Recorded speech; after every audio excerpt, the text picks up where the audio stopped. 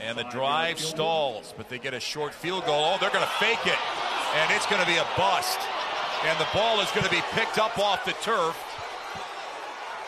Incredible.